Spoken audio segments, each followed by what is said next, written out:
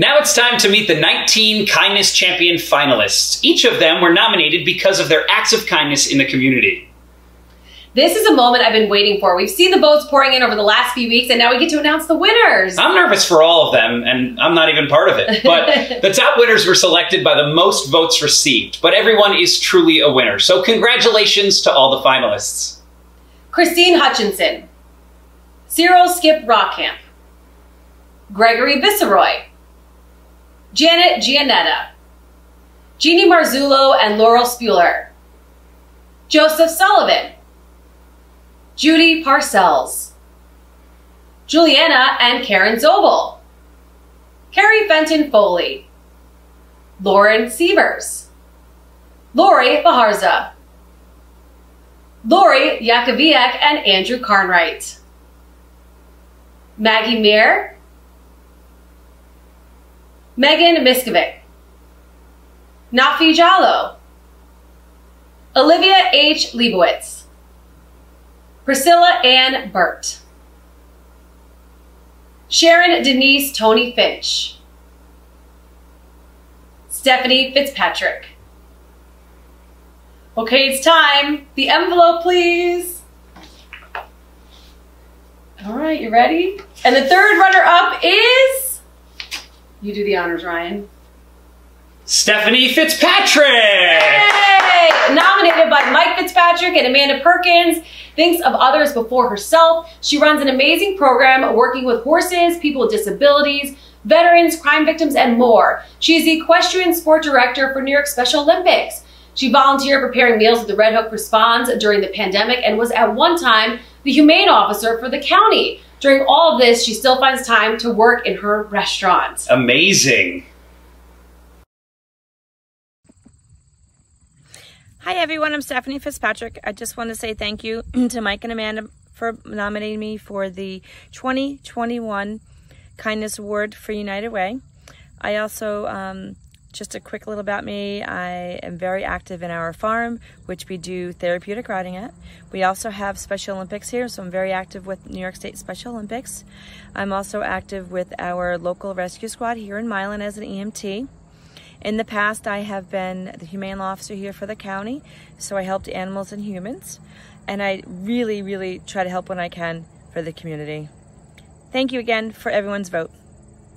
And the second runner up is Sharon Denise Tony Finch. She was nominated by Tyrone Finch and Wanda Tony, has worked hard building her YIT foundation that helps military families with their preemies as well as homeless veterans and low-income vets. The foundation is based on her experience as a Purple Heart veteran and a mother of a preemie.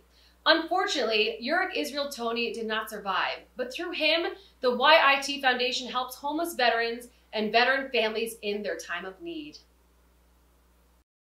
Hello, my name is Sharon Tony Finch, the founder of YIT Foundation. This foundation helps National Guard and Reserves military families strive during the times where their preemies are in the NICU. In New York, there are no NICUs on these military posts, and we are here to help them get through the hardest times. We have helped over 430 families within the Orange, Ulster, Sullivan, and Dutchess County. Now it's time, Ryan. The first runner up is drum roll.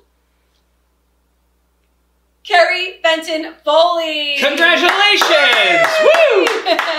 Nominated by Kristen Jensen, is a, she's a single mother of four children, ages 13 to 21. Good for you. She is a survivor of domestic violence, and shortly after she removed herself and her young family from the situation, their home was struck by lightning and burned. Carrie learned firsthand about the challenges of maintaining a roof over your head, food on the table, and going without. When the family regained stability, she decided to put that experience to use helping others and instilling a sense of service in her children as a way of saying thank you to those who helped her along the way.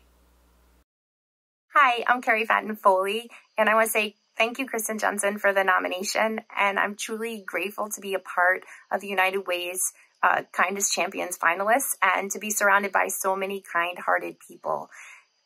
I think that kindness is something that we all need, especially after this past year. And yet, being kind is something that doesn't necessarily cost any money. It's a fact that I've imparted on my children from the time they were very young. And this past year, we were able to do two community wide projects that helped to spread a little bit of more kindness. Um, we started War- Warwick Spreads the Warmth, which allowed for cold weather accessories to be shared by community members to others who might need them um, by hanging them on community parks. And then in the summer, we started Sunshine in a Box, and we filled um, boxes with uh, all sorts of summer fun toys and water guns and water balloons and hoping to spread a little bit of joy uh, to the children of the school district and the local food pantries. So my last parting thought is that doesn't matter what you do in life, but you should be kind. And the 2021 Kindness Champion is Skip Skip Skip Rockham. Cyril Skip Rockham, nominated by Dr. Mark Valenti, is a family man, an accomplished retired educator, and most of all, a giver of his time and leadership. Skip's got a huge reputation, by the way. Yes, very big. Skip has delivered food for Meals on Wheels, coordinated a golf tournament for Meals on Wheels for 16 years, and was inducted into the Dutchess County Baseball Hall of Fame. When his wife Barbara died from cancer, he led a team for Relay for Life for seven years. Hello, I'm Skip Rotkamp, and I would like to thank Mark Valenti for giving me this opportunity and to congratulate the other 18. I've spent 35 years in education at RCK, John Jay, and Arlington. I spent 27 years in the Fishkill Rotary and 25 years mentoring students over at John Jay in the Interact Club. Numerous years of Wappingers Falls, uh, doing the Meals on Wheels, delivering.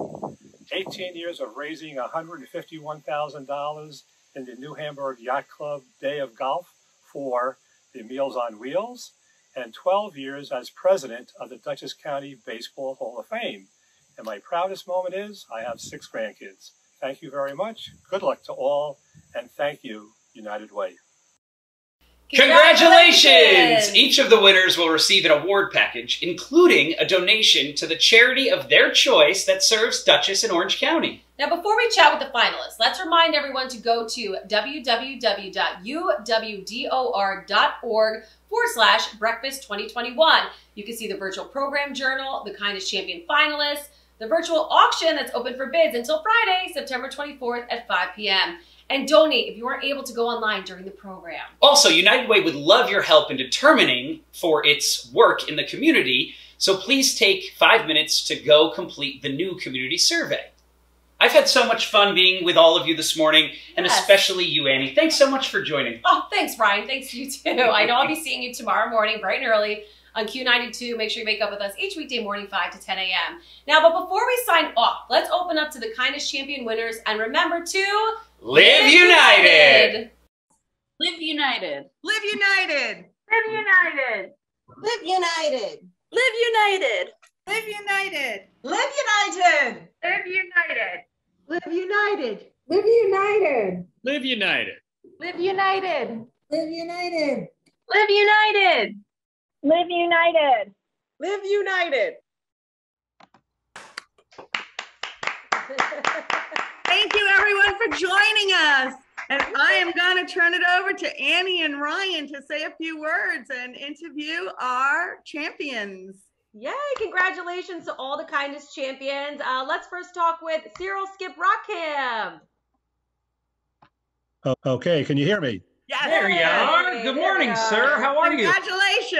As I once said, can you hear me now? Again, I just want to thank, congratulations. that's, that's an overwhelming honor. I received many things in my life, but this sticks right out there at my age doing what I do.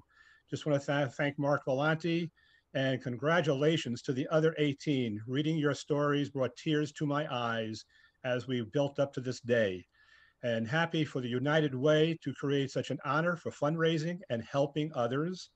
And thank you for my family and for friends supporting me. And uh, it was just overwhelming to be here today with you guys and hear all your stories.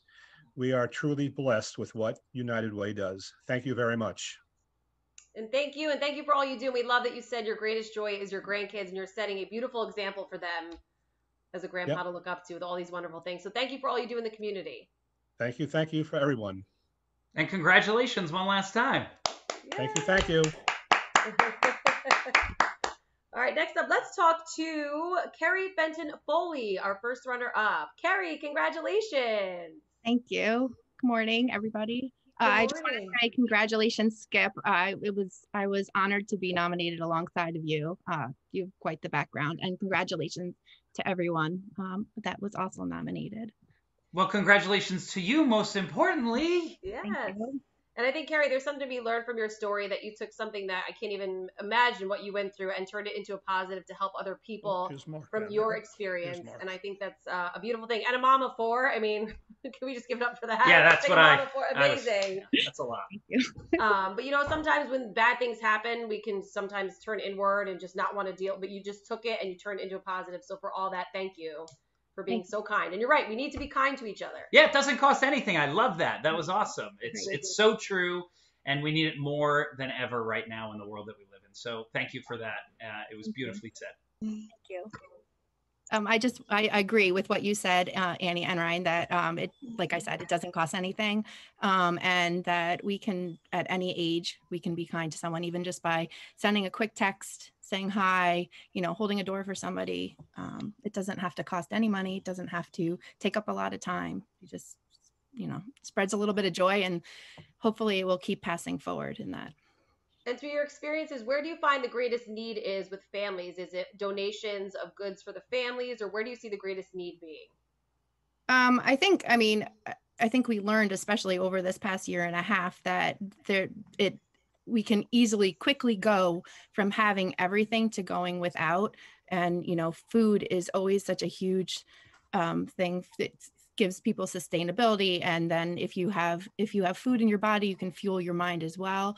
Um, and so that, of course, is always I think one of the biggest things. And then even just having a safe place to live, a safe, warm place um, to live as well. Um, you know, and then clothing, of course, but that can be, you can, I feel like you can use clothing much longer. You can, you know, wear something with holes in it, but once you go through a box of cereal, you use your last, you know, last container of peanut butter, then you don't have anything left. So that food is something that's always important for Which is a great reminder if you see food drive happening anywhere, you know, just even you grab a couple canned goods, you know, and just make sure you donate. And congratulations once again, Carrie. And very keep much. spreading that message. Thank you. Awesome. Next up, we have Sharon Denise Tony Finch. Hi, everybody. How are you? Hello, hello. Congratulations. Thank you. Thank you. I definitely want to say congrats to Skip and to Carrie. You both do amazing jobs out here in these counties and definitely just something to look up forward to. So hopefully connecting. And to you, Sharon, as well, you know, uh, sometimes we don't see the staggering numbers of vets that are homeless or even think about people that have preemies and how much time you're in the NICU. It's every day. And last thing you want to do is leave your baby. So you end up spending 12 hours there while, well, who's at home making sure bills are paid and meals are made if you have other kids. And so you've really helped so many. uh, What was the number again? You said 400? 430 families we currently are helping, and that's just not including National Guard, reserves, and active. There's not a NICU in New York on these military posts. So since we started this in 2016, we grew and we still continue helping those families. We're looking forward to when, hopefully, when they turn 18, that they make it because there's over 120 that are disabled Mm. that we are currently helping within that number that they get a scholarship through us because it's a long haul. And besides that, we were able to house 130 homeless veterans within um, COVID, finding affordable housing as well for them. Wow. Wow. Kudos to you. Yeah, and if someone knows of some, you know, we were speaking to someone who was a vet recently that said, you know, veterans are very, you know, strong and proud and sometimes might not want to admit that they're struggling with food insecurity or paying their bills. If you are aware of a, a military vet that needs assistance, how do they go about getting involved with you? Um, they could definitely connect with me on, I have my website, YIT Foundation. and as well, um, my pers- I always keep my personal number available as well on there. Um, we just had a stand down event in Orange County that it was so many that came together at the Elks Lodge in Middletown that we were able to give them brand new coats, brand new boots. I'm not gonna lie, we still have like three cases, and I'm looking towards hopefully Rebecca United Way can help me out with this, and we could give it to to them. Um, our mission keeps going. Well, thank you for all your hard work and the kindness you spread and the joy you spread. It's got to be really inspiring to see these kids as they grow and they succeed Yes. and they continue to be healthy and to know that you played a part in that. So it's got to be amazing. So congratulations. Thank you. I want to just say a special thanks. I'm at the Westchester Hospital now. I want to definitely give huge thank you to Trina Porter, who is a wonderful NICU nurse that's here that always let me use her office. And when things go left sometimes with the babies, she gives me a call so I could run up here and do what's needed and be that support for the family. Amazing, amazing work. Thank you so much, Sharon. Thank you. All right, let's talk to our third runner up, Stephanie Fitzpatrick. Hi, Stephanie.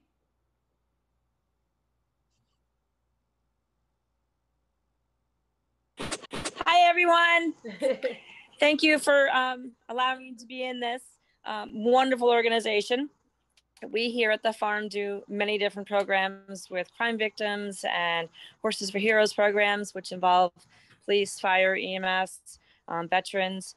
We just love what we do with the county and Special Olympics. Um, I am the state coordinator for Special Olympics, and we're so excited that State Games is going to be happening again this year up in Glens Falls, um, which we really, really love what we do here at the farm. I love your office, by Thank the you, way. everybody, It for looks your so votes. fun. I know, isn't it a nice office? I just love it. It's the it. greatest. Until a horse comes out, when you're sitting there eating your lunch, they reach out and eat your lunch with you. I mean, they're the best animals, They so why not? Thank you again, everybody. Yeah, and thank you so much. They You do know, the best oh. therapy, let me tell you. That's what I was gonna say. They're very healing, aren't they? I mean, even if you just look at a horse in the in the eyes, in the face, you just automatically just puts you in such a good place. I can imagine. Oh, it, it does. I used to, when I was a humane law officer here in the county years ago, I would come home and shovel the stalls. And let me tell you, that was the best therapy for me. I want to. Well, sorry to cut you off, Annie. I want to thank you for being, you know, the voice for for all the animals over the years, and Yeah. uh, for for helping that. And I think that's amazing work that you do. Thank you. Yeah, not just that. We were reading that you worked with um, Red Hook Responds by making meals during the pandemic. So not only were you doing all of this, and you know, also, also working with the Special Olympics, but you were making meals. What was that experience like? Oh, it was amazing. I had so much fun doing it. My business partner and I went and um, helped prepare the meals for them, or we um, served them to the drivers. And let me tell you, there was so many amazing volunteers that helped during the pandemic for that. Um, it, it was just wonderful to see the community come together and really help out. We um made we had to do some stuff with the restaurant for them too, or whatever we needed to do. We just jumped in and helped when it first started and then it kind of fizzled down a little bit for us and there was so many other volunteers that helped which was amazing to let them come in and help with it too because it was just an amazing feeling to see everybody come together as a team and, and dan budd was just amazing about putting everything together Wow. Well, I couldn't have said it better. Like Cyril Skip Rockham said, mm-hmm. everybody's stories were so beautiful and amazing. And, you know, kudos to everyone for spreading kindness and being there for the community. And this day is for you and moving forward. So thank you so much. And if you ever need anything from us at Q92, any messages you want to get out there about any food drives you're having or any events you want promoted, please feel free to reach out to Ryan or myself and we'll make sure we get that broadcast Great, thank for you. you. Can we give We will. a shout Thank out? you. Can we give a shout out and a thank you to Annie and Ryan? Did they do a great job or what? they did an amazing job No, Thank nowhere near, nowhere near what the Thank people you. nominated Yeah, and those you. that I won. know, but you guys are awesome. Thank you so much. And, you know, congratulations to Biz and Sally. Uh, well deserved honors. And to our amazing kindness champions. I'm always in awe when I read all of the work that you guys are doing and everything. And I want to thank everyone for joining us this morning. We had, I think, almost 170 people on, which is amazing for a virtual event. So uh, thank you. I know a lot of board members on here and my staff and everything. So on behalf of all of them, I want to thank you and everyone have a great day. Remember to bid and our journal's going to be on and everything. Um, so, but thank you to Emily Darrow who did this video. Superwoman. She was here at four this morning. Yes. So, uh, but it was a great morning. Thank you all. Yes, go get bidding and don't Yes. outbid me on the wine. I want that. Okay, you hear? Okay. And you gotta share. All right, fine. Thank you, everyone.